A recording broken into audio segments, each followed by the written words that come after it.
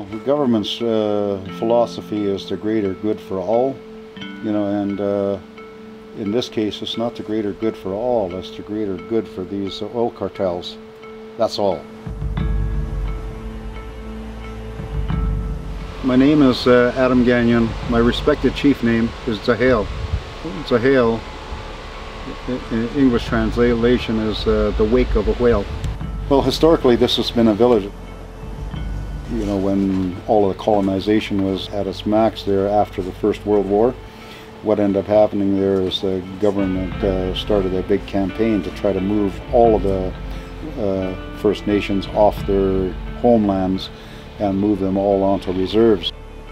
The site that we're on, you know, uh, it used to home at least four of our uh, ancestral home sites and uh, now we're looking at reoccupying it and uh, rebuilding the village there that got destroyed.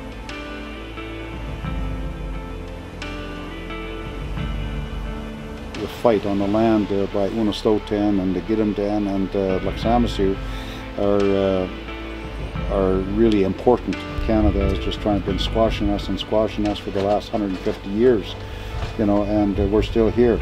And the pushback is going to keep on happening all of us uh, were working, you know, at uh, developing this community, and it's not uh, it's not a camp.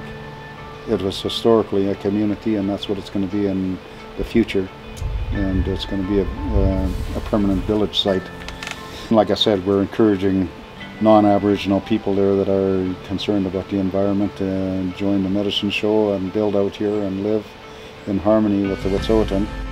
I think it's really important there that um, uh, all of you people out there that uh, want to be a part of this um, medicine show and climate fight to try to make contributions there directly onto our site of Likhts'amisyu uh, where we have links you know to uh, funding and we have a GoFundMe as well as um, you know other sources of income that's coming in through email, e-transfers and whatnot.